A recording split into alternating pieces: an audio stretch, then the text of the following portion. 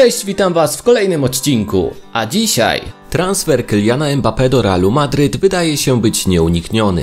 Nie zmienia to jednak faktu, iż katarscy właściciele Paris Saint-Germain wciąż nie mogą się pogodzić z jego odejściem. Czy Kylian Mbappé będzie szantażowany przez Nasera Al-Khelaifiego podczas transferu na Santiago Bernabeu? O tym podyskutujemy w dzisiejszym materiale. Opowiem Wam także o Santiago Heze i jego możliwej gry dla reprezentacji Polski, plaze kontuzji w szeregach FC Barcelony oraz o nietypowym pomyśle Jacka Góralskiego. Zanim zaczniemy, zachęcam Was do zasubskrybowania mojego kanału z opcją dzwoneczka, dzięki czemu nie przegapicie kolejnych materiałów, które będę tutaj publikował. Bardzo Was również proszę, jeżeli spodoba Wam się dzisiejszy materiał, o zostawienie kciuka w górę. A teraz chwila dla partnera kanału STS i przechodzimy do dzisiejszych, bardzo ciekawych newsów. Partnerem kanału jest STS, legalny polski bookmacher i oficjalny sponsor reprezentacji Polski. Z kodem FootballTV możecie odebrać pewne 1560 zł.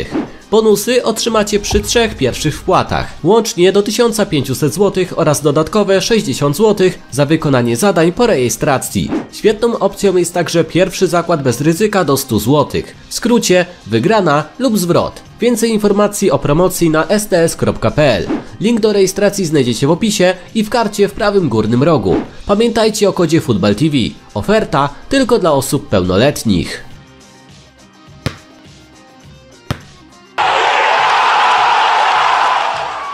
Kylian Mbappé najprawdopodobniej już latem tego roku zakończy przeszło trzyletnią sagę transferową związaną z jego transferem na Santiago Bernabeu. Real Madryt potrzebuje takiego gracza jak Francuz, a piłkarz potrzebuje takiej drużyny jak Królewscy, aby móc zapisać się w historii piłki nożnej. Wszystko pięknie, gdyby jednak nie jeden fakt. Paris Saint-Germain nawet w przypadku kontraktu swojej supergwiazdy, który wygasa za niespełna 4 miesiące, wciąż próbuje zatrzymać go w swoich szeregach, a przynajmniej tak twierdzi część francuskich mediów, które podają, że PSG zaprosiło Emirata Kataru, aby ten spróbował przekonać Mbappé do zostania w stolicy Francji. Najprawdopodobniej jest to jednak zwykła plotka, ponieważ informacjom tym zaprzecza nikt inny, jak znany bardzo dobrze w świecie sportowego dziennikarstwa Fabrizio Romano. Włok na swoim Twitterze umieścił taki oto wpis. Źródła bliskie Paris Saint-Germain stanowczo zaprzeczają, jakoby emir Kataru złożył nową propozycję, aby przekonać Kyliana Mbappé do pozostania. Dzisiejsze spotkanie nie będzie dotyczyło przyszłości, ponieważ Mbappé dał już jasno do zrozumienia PSG. Poinformował ich o odejściu z klubu i prowadzi już zaawansowane rozmowy z Realem Madryt. Co ciekawe, francuskie L'Equipe podaje natomiast, że prezydent Paris Saint-Germain Nasser Al-Khelaifi jest wściekły na Kyliana i chce, aby ten zrzekł się nie tylko premii lojalnościowej, którą de facto spełnił już w lipcu, ale także oddał część premii za podpisanie kontraktu z Realem Madryt. Brzmi niedorzecznie i tak też jest, co jasno daje nam do zrozumienia, jak absurdalne osoby rządzą Paris Saint-Germain. W skrócie jest w nim napisane, że Kylian ma nie tylko złe relacje z prezydentem klubu, ale także trenerem Luisem Enrique.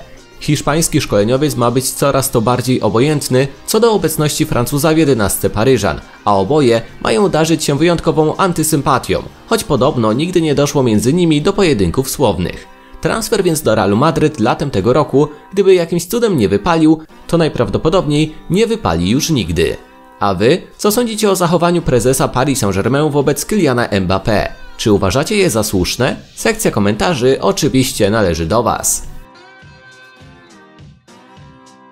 Reprezentacja Polski potrzebuje wzmocnień na kilku pozycjach. Bardziej nie gryząc się w język, kibice czy też eksperci powiedzieliby, że oprócz pozycji bramkarza potrzebujemy nowych wzmocnień w każdej strefie pola drużyny narodowej. Jednak są też takie, które nad wyraz źle wyglądają. Zdecydowanie naszą zmorą jest brak nominalnego lewego obrońcy, grającego przynajmniej regularnie na solidnym europejskim poziomie. Jednak nie to jest naszym największym zmartwieniem. Po odejściu Grzegorza Krychowiaka, a właściwie po odejściu jego świetnej formy po Euro 2016, pozycja defensywnego pomocnika w polskiej kadrze wygląda niezbyt obiecująco. Krystian Bielik nie daje nam gwarancji stabilności, a wcześniej powoływany Jacek Góralski zdecydowanie nie był w dłuższym dystansie dobrą opcją pierwszoplanową dla reprezentacji Polski. Na nasze szczęście jest piłkarz grający regularnie na pozycji defensywnego pomocnika, będący jednocześnie ważnym ogniwem greckiego Olympiakosu Pireus. Część z Was, która na bieżąco ogląda mój kanał, wie, że chodzi mi o Santiago Heze.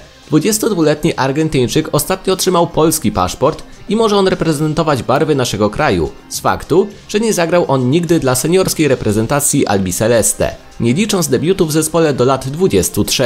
Michał Probierz miał również sam odbyć rozmowę z piłkarzem na temat jego możliwej gry dla biało-czerwonych i jak powiedział Heze, ma przemyśleć tę opcję. Piłkarz w tym sezonie rozegrał już łącznie 33 mecze dla Olympiakosu, co powoduje, że znajduje się on w rytmie meczowym. Musimy jednak podkreślić, że piłkarz na pewno nie pojawi się na marcowym zgrupowaniu, a najwcześniej moglibyśmy go zobaczyć w czerwcu, bądź dopiero na przełomie lata z jesienią. Do tego czasu natomiast powinniśmy się skupić na zbliżającym się półfinale z Estonią i miejmy nadzieję na finale z Finlandią bądź Walią. A według Was PZPN powinien się starać o powoływanie piłkarzy z polskimi korzeniami? Zachęcam Was do dyskusji w komentarzach.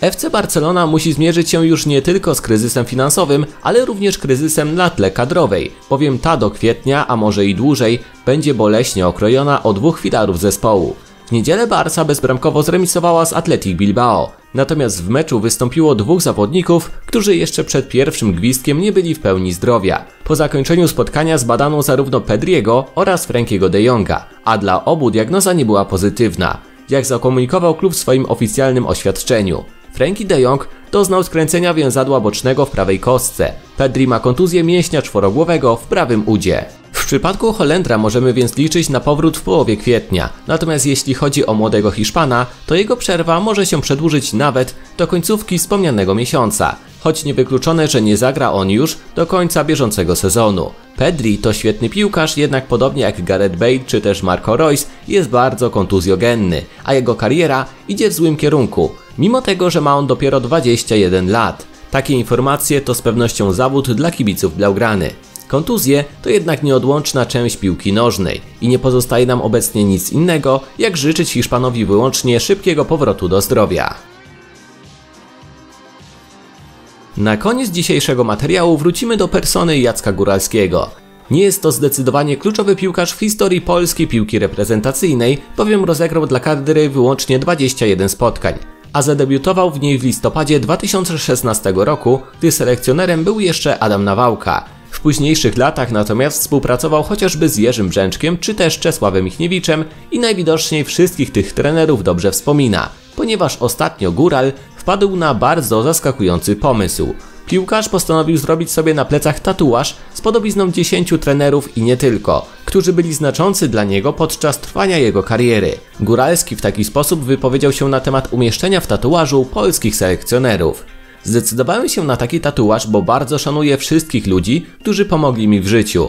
Od Adama Nawałki otrzymałem pierwsze powołanie do reprezentacji narodowej. U Jerzego Brzęczka grałem dość regularnie w kadrze narodowej. Zapracowałem na zagraniczny transfer. Co do Czesława Michniewicza, jestem przekonany, że gdyby nie moja kontuzja, zabrałby mnie na mundial do Kataru. Zawsze podchodził do mnie bardzo w porządku i chcę mu podziękować. Do trenera Michała Probierza mam wielki szacunek za to, że zadzwonił do mnie i ściągnął z Wisły Płock do Jagiellonii Białystok, pozwalając mi wskoczyć na poziom ekstraklasy.